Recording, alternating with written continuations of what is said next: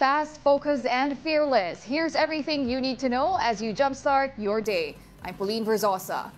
Alice Guo is now back in the Philippines. Clad in an orange uniform, the dismissed Bamban Tarlac mayor arrived in a private hangar via a chartered flight around 1 in the morning. Interior Secretary Benhur Abalos said they had to book a private flight to meet Indonesia's deadline for bringing Guo back to the country. Nakatanggap ako ng tawag na binibigyan tayo ng hanggang alauna na madaling araw dahil nadakip ng ah, mga Indonesian authorities si Alice Go na kung hindi ito aayusin ng Pilipinas, makapakawala nila si Alice Go. So dahil sa panahon na yun, agad tayo naganap ng eroplano kundi hindi tayo aabot sa mga flight. At uh, may kaibigan ako nagpahiram ng eroplano para lang magawa ito sa mas madaling paraan.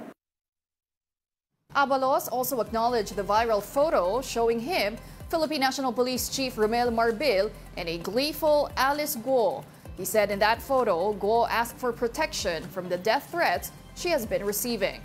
The dismissed official confirmed this.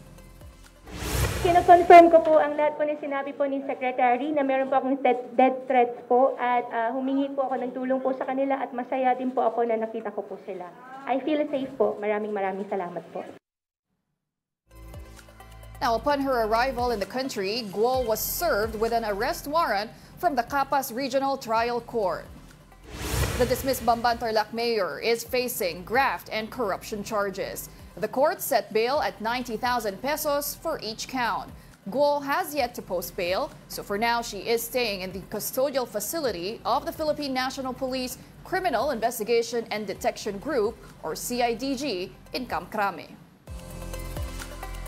Undersecretary Gilbert Cruz of PAOK says several pogos have stopped or laid low in their operations following President Marcos's blanket ban.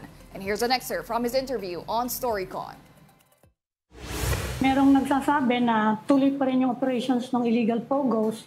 Sabi naman ng PAGCOR, hindi totoo. Ano, pa, ano po yung report ng PAOK doon? Ah, sa totoo lang, ma'am, ah, mayroon pa po, marami pa pong nag-ooperate ng mga illegal na pogo. Ah, hindi naman ho kasi, yung iba naman ho talagang medyo malasado gumalaw eh. So, ah, pasensya na ako sa word ano.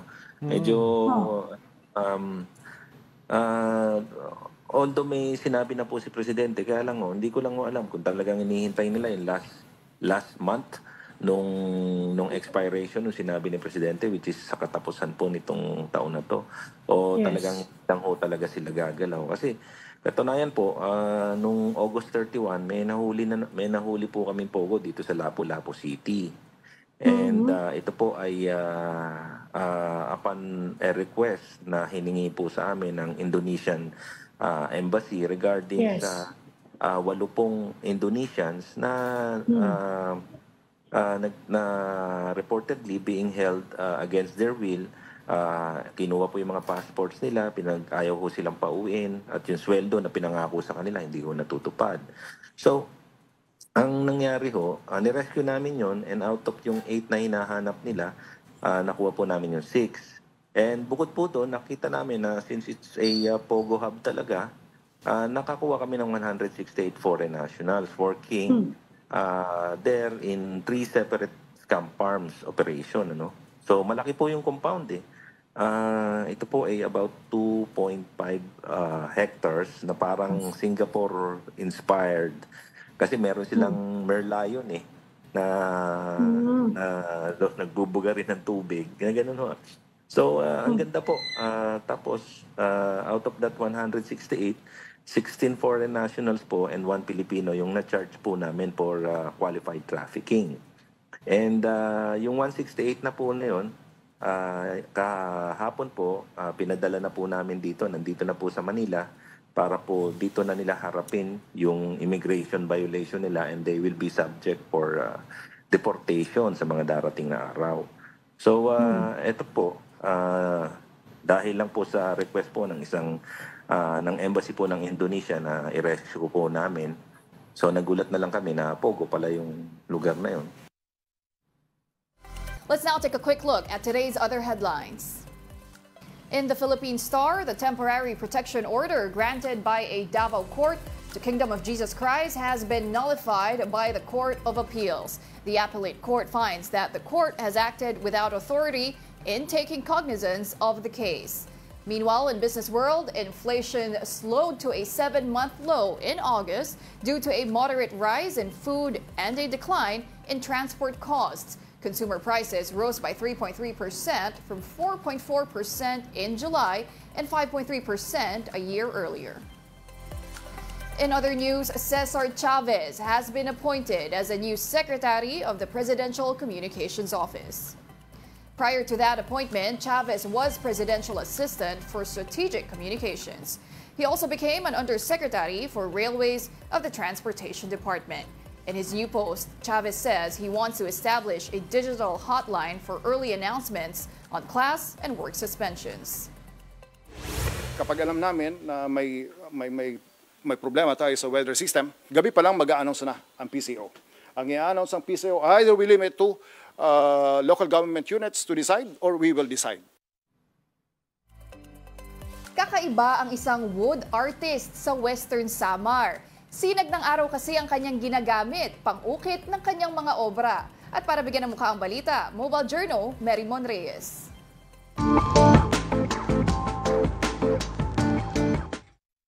Iba ang talento ng Pinoy pagdating sa mga gawang kamay. Ang manguukit mula Samar na nakilala natin, ginagamit ang sinag ng araw sa kanyang obra. Bangkero ang hanap buhay noon ni Kuya Romeo Dacanay na tubong motyong Western Samar. Pero dahil palagi raw silang binabagyo, naghanap siya ng ibang pagkakakitaan. Dito na niya pinasok ang pag-uukit ng kahoy noong 2010 sa tulong na rin ng kapatid niyang isang handicraftsman. Nang magamay ito, humanap naman siya ng ibang estilo, inspired mula sa iba pang artist.